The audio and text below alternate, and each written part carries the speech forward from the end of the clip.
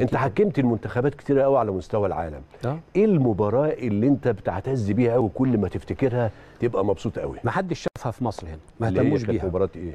مباراة فرنسا والبرازيل في دور قبل نهائي في كأس العالم للقارات. المباراة دي آه، من ثلاث سنين كانت. فرنسا والبرازيل بيلعبوا نهائي كأس العالم 98 واللي حكمها سعيد بالكل الله يرحمه نعم. المغربي. وأنا كنت مرشح لإدارة المباراة دي. آه. يعني كانوا بيقارنوا بين بين الاسمين. وفي النهاية النصيب جه انه سعيد بالكل يحكم المباراة. لما جينا بعديها بثلاث سنين في كأس العالم للقارات والمباراة دي وقعت في الدور قبل نهائي فرنسا والبرازيل.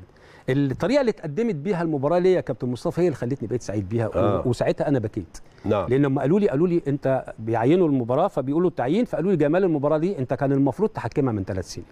كده على طول؟ آه. زعلت ولا؟ أنا افتكرت لأنه كابتن مصطفى آه، إنما يكون بينك وبين إنك تحكم نهائي كأس العالم كلمه شعره شعره آه. ولكن الحمد لله حمدت ربنا وقتها و و و و و ولكن المباراة لما اتقدمت لي دي بقى آه، دي كان المفروض تحكمها من ثلاث سنين. يعني الناس كانوا معترفين بقيمة إن أنا كنت مؤهل. أحكم النهائي. طيب.